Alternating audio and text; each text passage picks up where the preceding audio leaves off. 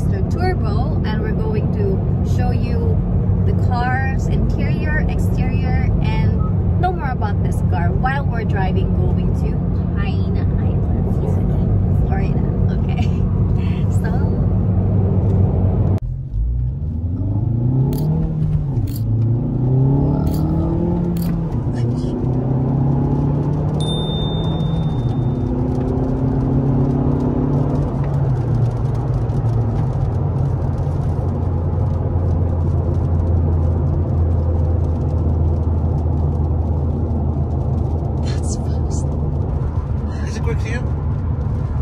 been a while since you drive so fast. Yeah, I know. The, the Model 3 is the last time we went. We Uh huh. I know that's. I supposed to say I missed Model 3. Yeah. I really hope that you get an automatic so I can drive it.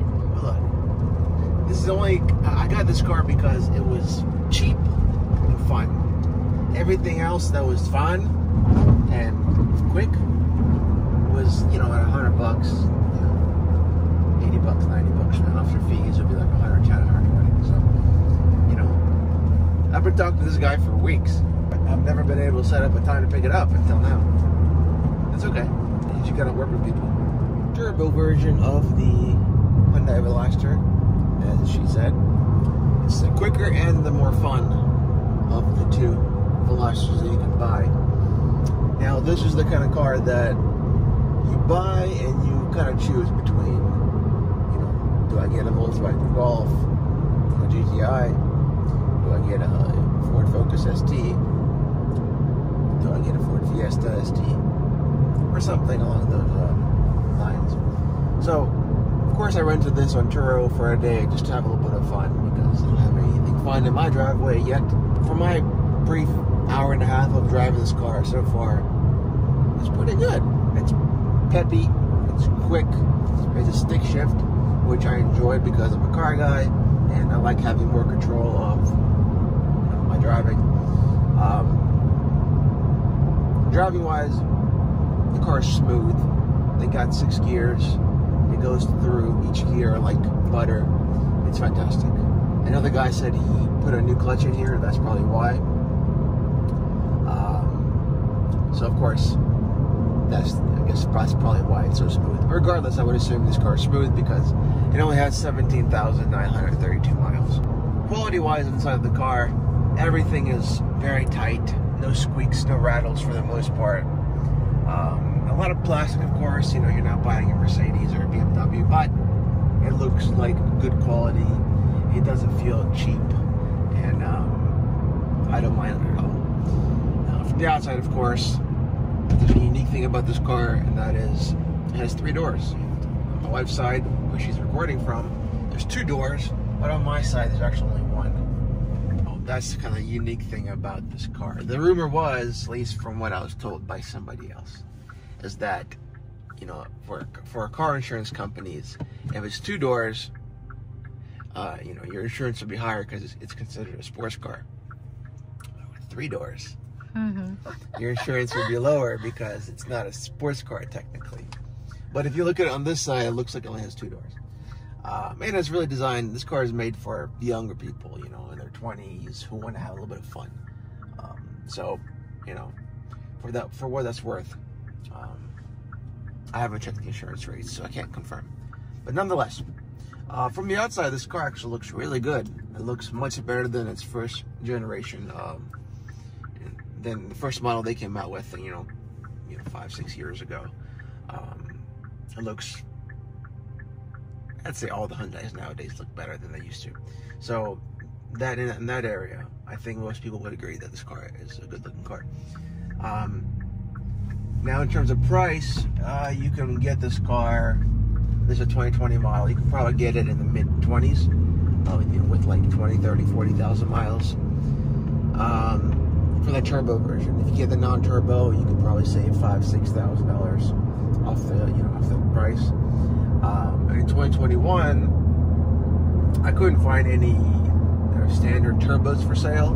What I did find for sale was the Hyundai Veloster Turbo, or the it's called the Hyundai Veloster Turbo N edition, which is pretty much their top of the line performance edition cars. And um, without showing you it, you know, right now. Uh, the difference I could make out kind of immediately is that in the back, um, the exhaust pipes are not together but kind of apart on you know both both ends of the back. So there's dual exhaust pipes, but they're not together. They're kind of separated, and um, and there's going to be end badging all over the car.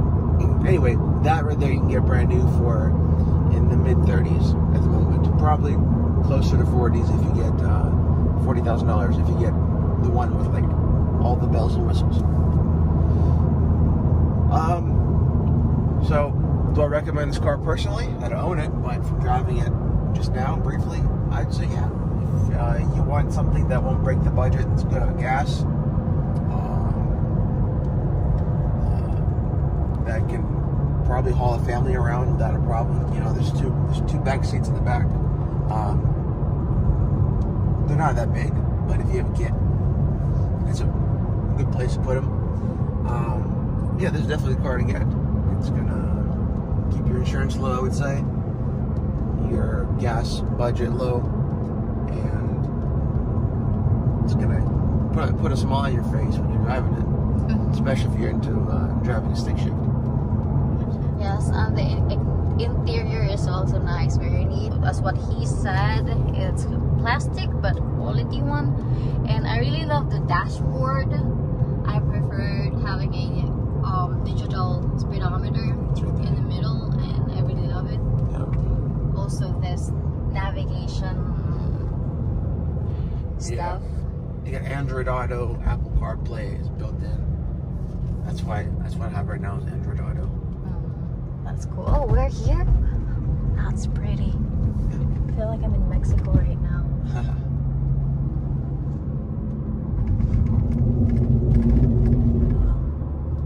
Look at that.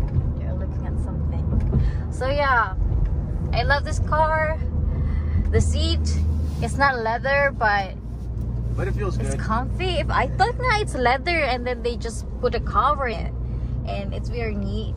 Look at that. I like it. it. It feels very smooth when you rub it with your hands. yeah. And the, usual or basics, uh, basic interior stuff of this car. The light, of course, mirrors are here, and pretty big compartment. uh, Regular, regular size. And what else we can say about the interior? I can't, I can't say much really. The back compartment. Yeah, I would say it's not a very comfortable car. It's it is stiff, you know. It's uh, I can feel all the bumps. Uh, but you know, it's it's a small car with a short wheelbase, and um, we don't have you know fancy comfort tires. We got sporty tires in this car, so That's why.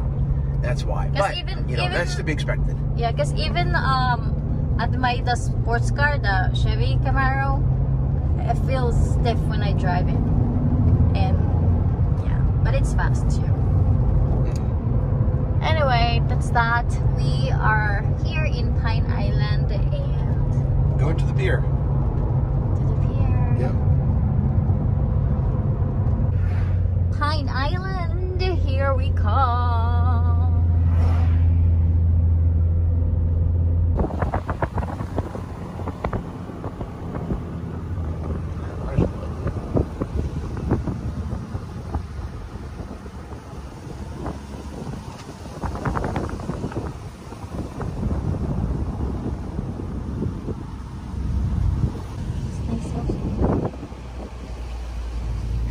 They have nice houses. This is prime real estate. Meaning, but there's that here. Prime real means this is the top locations for real estate. You know, the most expensive area, most likely. Because it's by the water.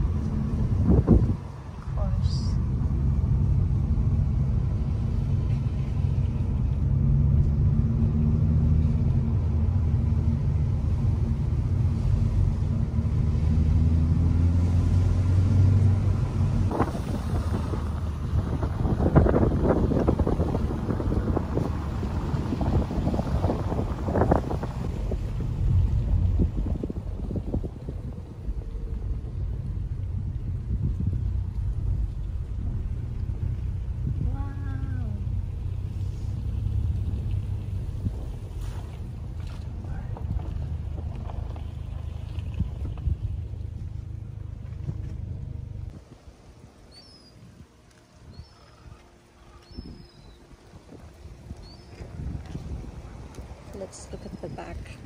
How can you open it? The back? Here? Cool. It reminds you of my hometown, right? This place. A little bit. I do. Love, look, there's a bird there.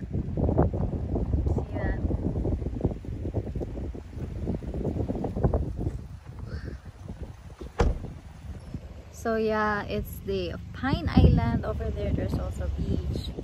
There are some store and it's the village neighborhood. Nice neighborhood and then we just bring the car here for fun. Look at that.